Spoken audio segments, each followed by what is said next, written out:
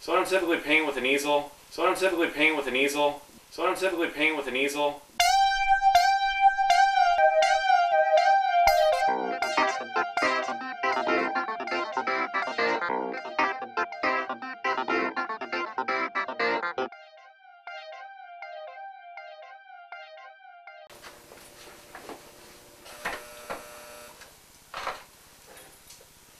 So I don't typically paint with an easel, but uh, my grandfather passed away not too long ago. I made this easel by hand, so I kind of figured it was a good opportunity to try something new with the easel.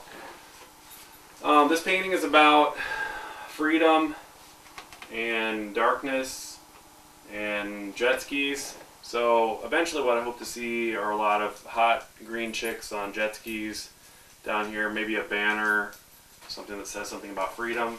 I've done some sketches of what the Babes of Summer should look like. So then I even been playing around with the composition a little because I want the jet skis to be in just the right area, the scale. So uh, I'm just going to go ahead and start. Just going to go ahead and get right in there.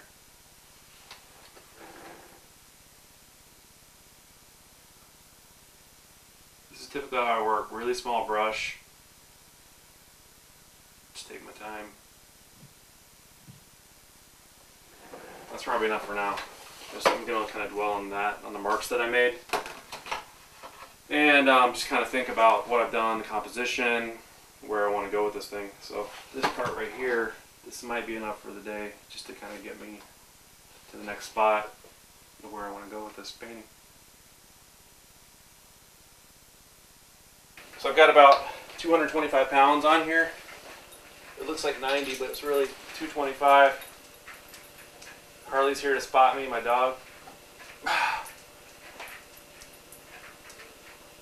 One, two, four, five, seven, ten. Stare to paint time to pumping iron time because they're all related. I will. I'll make a mark I'll look at it, I'll pump some iron, maybe do 10 reps, come back, if the paint's dry, maybe make another couple marks. If it's wet, I'll kind of walk away for a while. So I can stare at something, I can stare at something for an hour.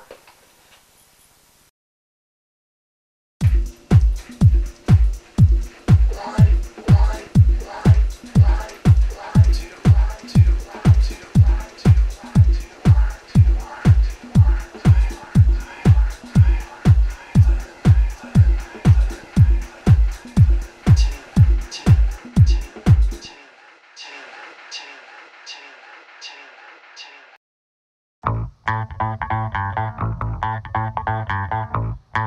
you.